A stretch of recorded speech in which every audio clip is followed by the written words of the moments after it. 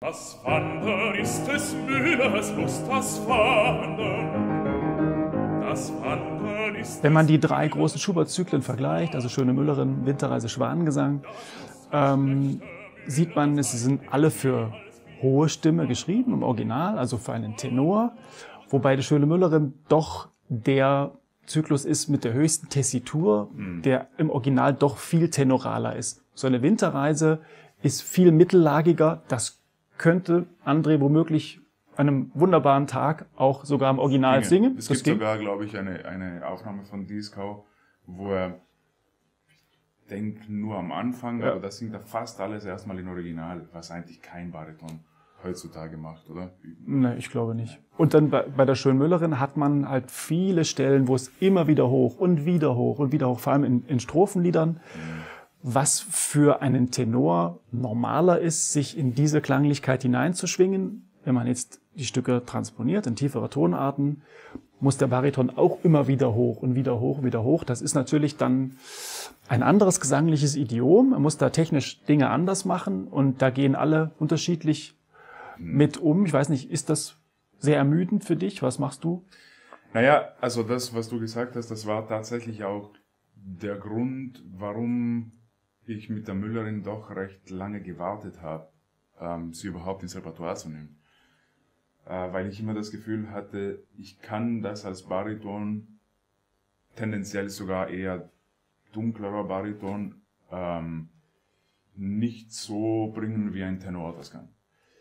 Aber ich denke, wir haben eine gute Lösung gefunden, vor allem auch in den Tonarten. Das war mir bis vor kurzem nicht so bewusst, dass es manchmal tatsächlich so ist, dass wenn man eine Tonart nochmal einen halben, halben Ton nach unten transponiert, unter Umständen dann eben heller singen kann. Also rein technisch, weil einfach, wenn man da weniger äh, in den Passaggio kommt und dementsprechend leichter, heller die, die hohen Töne erreicht. Das ist dann praktisch im Paradox, dass es zwar tiefer ist, aber heller klingt.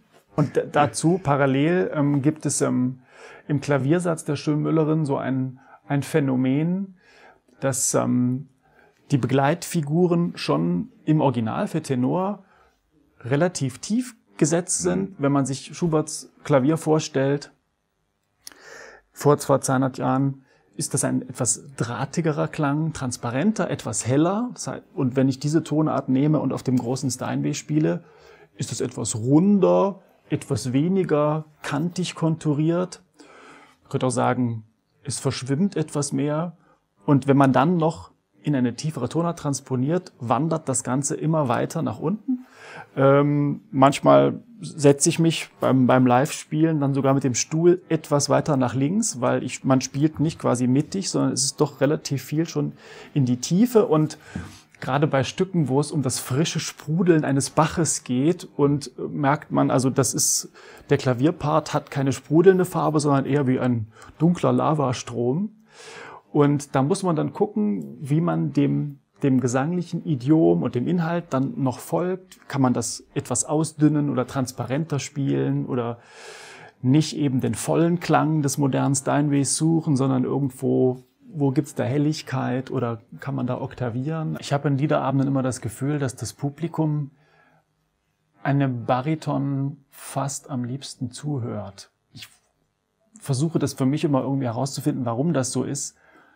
Vielleicht, weil die, die, die Bariton-Tonlage der männlichen Sprechstimme am ähnlichsten ist und es auch so eine Art Erzähltessitur. Wenn einem jemand eine Geschichte erzählt, ähm, ist das sehr angenehm, dem zu folgen, das, das Warme, das, das, ähm, das Eingebettete.